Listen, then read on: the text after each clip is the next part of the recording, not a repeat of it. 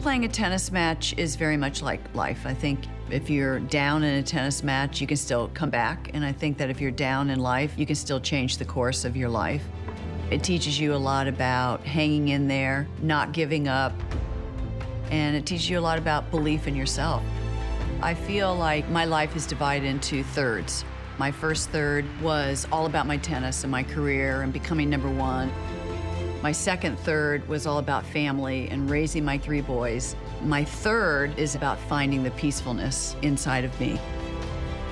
When I look at my Rolex, I don't see 18 Grand Slams. Rather, I see a reflection of all the different stages of my life combined.